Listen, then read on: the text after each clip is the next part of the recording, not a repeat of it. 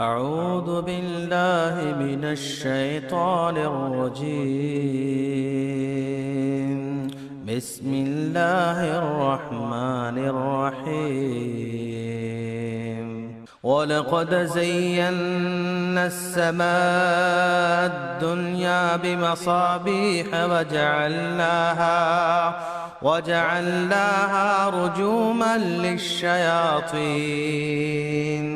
وأعتدنا لهم عذاب السعير. وللذين كفروا بربهم عذاب جهنم وبئس المصير.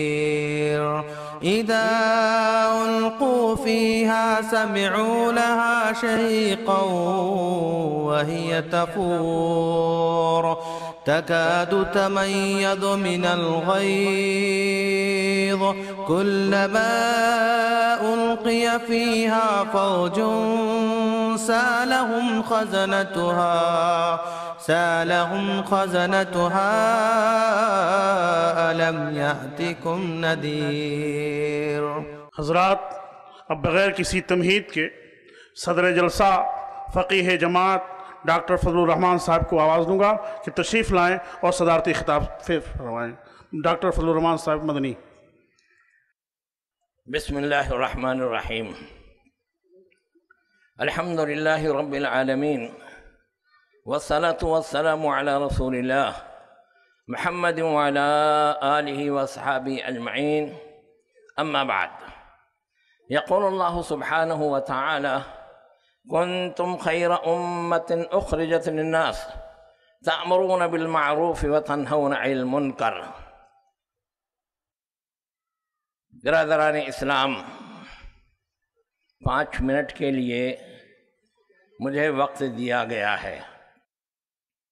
سب سے پہلی بات یہ ہے کہ ابھی جو آیت کریمہ میں نے آپ کے سامنے تلاوت کی ہے، اس میں اللہ جل شانہ یہ فرماتا ہے کہ اے مسلمانوں، تم بہترین امت ہو، اس واسطے کی بھلائی کا حکم دیتے ہو اور برائی سے منع کرتے ہو۔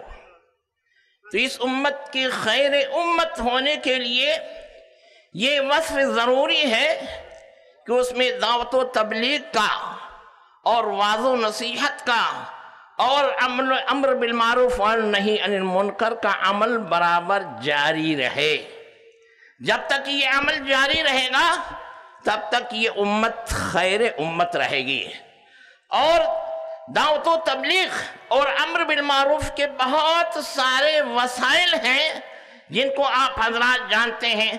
جمعہ کے عیدین کے خطبات ہیں، مسجد کے درس ہیں صبح شام کے اور ہفتہ ہفتہ روزی پروگرام ہے۔ اس کے علاوہ اس طرح کے کانفرنسیں اور اجلاس بھی ہیں۔ اس اعتبار سے اس قسم کے کانفرنسوں کی بھی قدر کرنی چاہیے، ان سے استفادہ کرنا چاہیے۔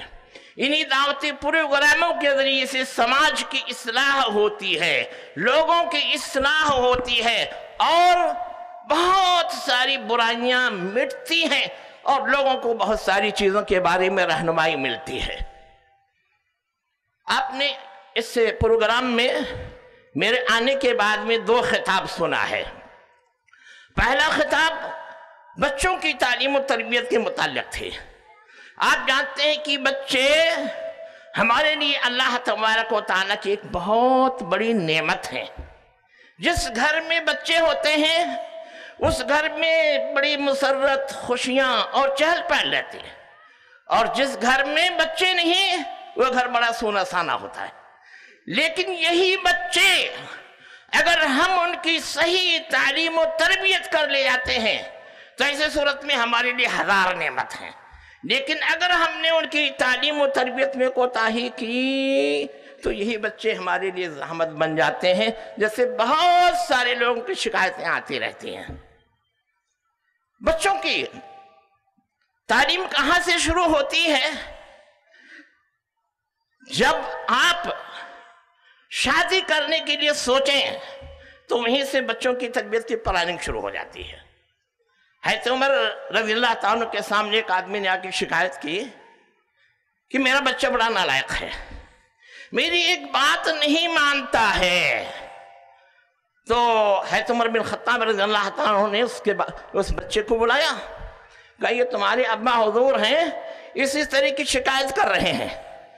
تو اس بچے نے کہا، امیر مومنین کیا سارے حقوق باپ ہی کے بچوں کے اوپر ہیں یا بچوں کے بھی کچھ حقوق باپ کے اوپر ہیں؟ تو حضرت عمر بن خطاب نے کہا کہ جیسے باپ کے حقوق بچوں پر ہیں، ویسے بچوں کے حقوق جو ہے باپ کے اوپر بھی ہیں بچے نے کہا، پھر ذرا آپ روشنی ڈالیے کہ بچوں کے حقوق باپ پر کیا ہیں۔ تو حضرت عمر بن خطاب رضی اللہ تعالی نے فرمایا، بچوں کا حق یہ ہے کہ ان کا باپ ان کے لیے بہترین ماں کا انتخاب کرے۔ اور جب پیدا ہو تو اچھا سا اس کا نام رکھے۔ اور پھر اس کو قرآن کی تعلیم دے۔ بچے نے کہا، امیر مومنین ابا سے پوچھو، ان حقوق میں سے کوئی حق ادا کیا ہے؟ میری ماں ایک کالی کلوٹی، مجوسی کی لونڈی ہے۔ اور جب میں پیدا ہوا تو میرا نام انہوں نے برغوث رکھ دیا اور قرآن ایک لفظ نہیں پڑھایا ہے۔ تو ہے تمہارا رضی اللہ تعالیٰ سخت ناراض ہوئے۔ اس شخص کو خطاب کر کے کہا کم وقت تو میرے پاس اپنے بچے کی شکایت کرنے کے لیے آیا ہے اور سب سے پہلے تو تو نے اس کے حقوق ادا نہیں ادا کیا ہے۔ تو میں یہ بچوں کی تربیت بہت اہم چیز ہے۔ شادی کرنا ہو تو رسول اللہ صلی اللہ علیہ وسلم نے فرمایا، فیصل بذات الدین۔ کوئی آدمی جب شادی کرتا ہے تو عورت کے اندر چار چیزیں دیکھتا ہے۔ کچھ لوگ اس کے حسن و جمال کو دیکھتے ہیں، کچھ لوگ اس کے مال و دولت کو دیکھتے ہیں، کچھ لوگ اس کے خاندان کو دیکھتے ہیں۔ کچھ لوگ اس کی دینداری کو دیکھتے ہیں۔ رسول اللہ صلی اللہ علیہ وسلم نے فرمایا، تم دیندار عورت کو حاصل کرنے کی کوشش کرو۔ دیندار عورت سے شادی کی، آدابی ہم بستری سیکھیے۔ بچہ پیدا ہو تو کان میں اذان دیجیے تحنیق کیجیے اور کرائیے۔ اور پھر اس کا عقیقہ کیجیے اچھا سا نام رکھیے۔ اس کے سر کو مروائیے اس کے برابر سر کو خراج کیجیے بولنے لگے تو اسے کلمہ بول ادا کرنا سکھائیے۔ اور آگے پھر ہو، تو ماں اور باپ دونوں مل کر کے بچے کو اچھے اچھے آداب سکھائیں۔ کھانے کا طریقہ بتائیے پیشاب کھانے کا طریقہ بتائیے، حلال اور حرام بتائیے، اس کی زبان کی اصلاح کیجیے اور بڑا ہو جائے تو اچھے مدرسے میں داخل کیجیے ساری تشریح آپ سن چکے ہیں۔ اس کے بعد میں علماء کی صحبت میں بیٹھائیے۔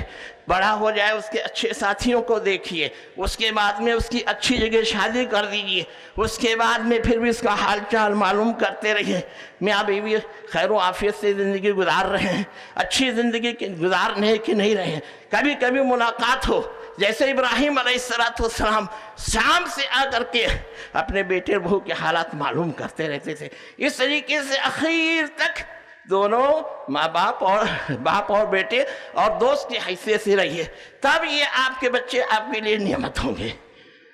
دوسری تقریر کا موضوع تھا، دوسری تقریر کا موضوع تھا موضوع تھا خواتین کا اصلاح معاشرہ میں کردار۔ ادھر سے کان میں جو کہہ رہے ہیں آپ سن رہے ہوں گے۔ میرے کہنے کا مطلب یہ ہے کہ ماں بچوں کا سب سے پہلا مدرسہ ہے۔ وہیں سے بچوں کی تربیت، وہیں سے بھائیوں کی تربیت، وہیں سے ماں باپ کی اصلاح، اور وہیں سے پھر معاشرے کی اصلاح میں عورتوں کو بہت بڑا کردار کرنا ہے۔ موقع نہیں ہے، میں اتنے پر اتفاق کرتا ہوں۔ اللہ تبارک تعالیٰ ہم سب کو ان وقی خطابات سے استفادے کے توفیق عطا فرمائے۔ آمین۔ وآخر دعوانا الحمدللہ رب العالمین۔ السلام علیکم ورحمۃ اللہ۔